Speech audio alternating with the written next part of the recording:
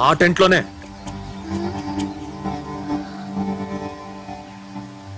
Tent లోనా ఏం చేసా ఏం చేసా టెంట్లోనే మూడు రాత్రులు ఇక్కడే ఉంటే జరగకుండా ఎందుకుంటుంది? ఏయ్ ఎందుకు ఏడుస్తున్నావు? నిన్నే ఎందుకు ఏడుస్తున్నావు? సెకండ్ హ్యాండ్ దొరికితే ఏడవరేంటి? అమ్మా ఇక్కడ షోరూమ్ బండ్లేం లేవు.